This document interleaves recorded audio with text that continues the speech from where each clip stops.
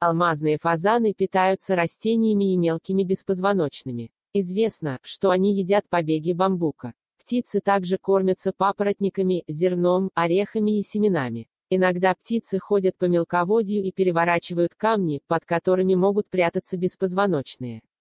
Во время гнездования между самцами происходят жестокие бои. Полигамия составляет правило. Самцы начинают брачный сезон с исполнения удивительно красивого танца. Петухи кружатся вокруг самок и стараются загородить им путь. Затем внезапно бросаются к избранницам, приближаясь настолько, что касаются их головами.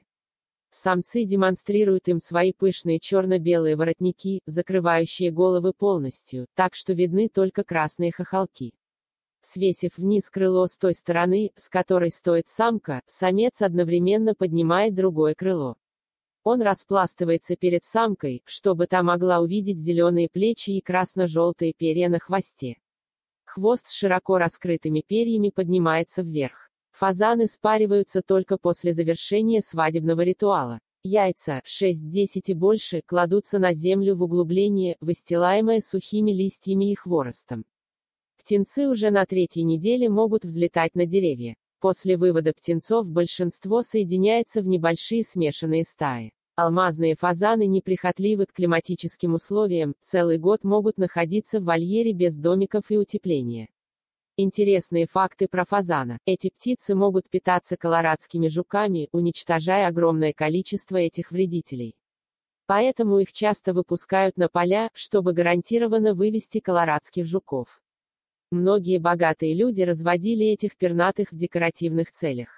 Чаще всего для этого использовали ярко окрашенного золотого фазана. Очень плохо летают и пользуются этой способностью крайне редко. А вот бегают они быстро, это лучшие спринтеры среди курообразных. Эти пернатые, очень ценная птица для охотников, но они моментально распознают опасность и убегают.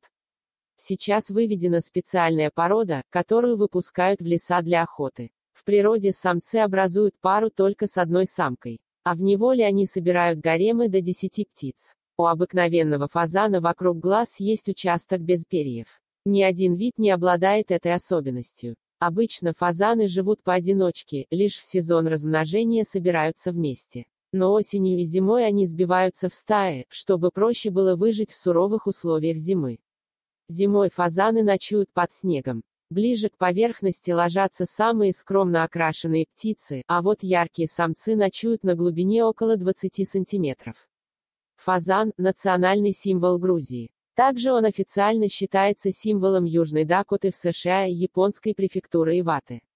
Как бы самец ни прятался, его легко заметить благодаря ярким перьям. А серую самку и птенцов не видно и не слышно даже на открытом месте. Спасибо, что прослушали до конца. Любите птиц и животных.